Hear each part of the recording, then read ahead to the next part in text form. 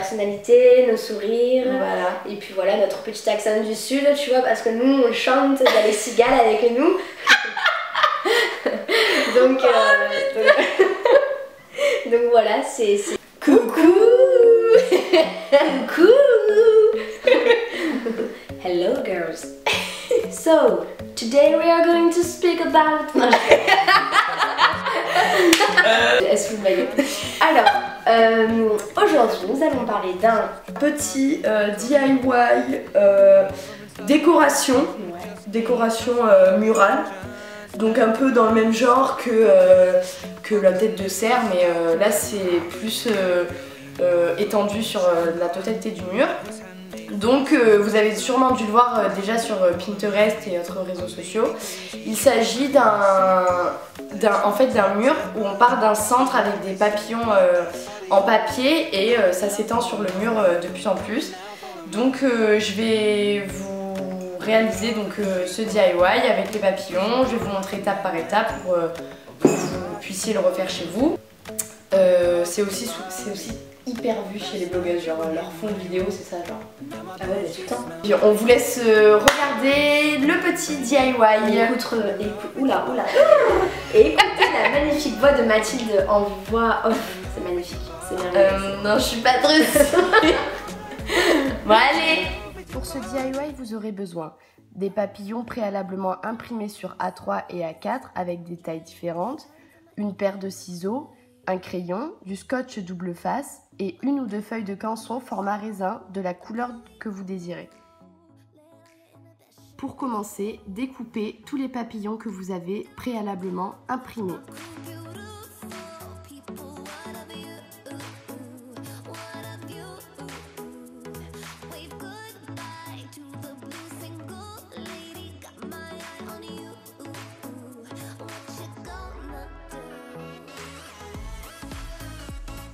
Une fois que tous les papillons sont découpés, vous pouvez les poser sur votre canson et dessiner le contour de chaque papillon.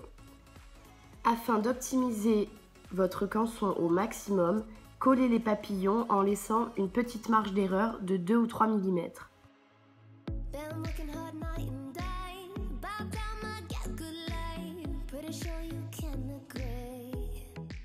Réalisez cette opération jusqu'à ce que vos deux feuilles de canson soient remplies de papillons.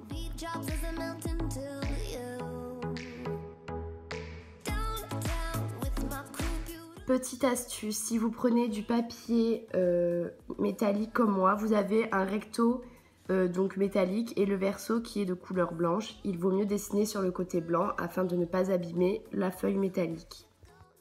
Bon, c'était mon copain qui filmait quand euh, j'étais en train de faire les papillons. Donc euh, voilà, quand il s'amuse à faire des gros zooms sur ma grosse tête. Je... alors oui, là comme vous le voyez, j'ai pas la même tenue, c'est qu'en fait j'ai tourné sur deux jours euh, parce qu'à chaque fois on avait quelque chose à faire donc j'ai pas pu le faire en une fois. Une fois que vous avez donc fait le tour de chaque papillon sur le canson, je vous propose de les découper tous un par un. Alors petite astuce, moi pour pas m'embêter, j'ai dessiné sur qu'une seule feuille de canson, je les ai collés les deux et ensuite j'ai découpé chaque papillon sur les trois feuilles d'un coup ce qui vous donne du coup trois papillons découpés en une seule fois. Si vous faites la technique que je viens de vous donner, n'oubliez pas de remettre toujours les deux feuilles, bien qu'elles soient bien calées l'une contre l'autre, que ça ne dépasse pas pour que vous ne vous retrouviez pas avec du, du papier à jeter car, euh, car euh, il a été mal utilisé.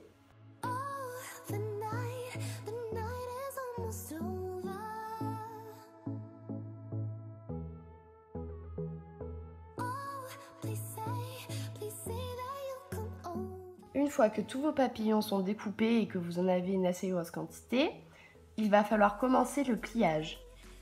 Donc, au niveau du corps de l'insecte, vous allez plier chaque aile. Ensuite, découper un petit bout de scotch double face de la taille du corps de l'insecte. Et du coup, vous allez venir le coller donc euh, euh, sur, euh, sur le milieu du papillon afin de, de pouvoir le coller ensuite sur le mur. Vous allez pouvoir commencer à les positionner sur le mur. Alors moi je les ai positionnés en forme de cœur, mais vous pouvez fo- positionner en forme de rond. Euh, C'est vraiment euh, comme vous, vous en avez envie.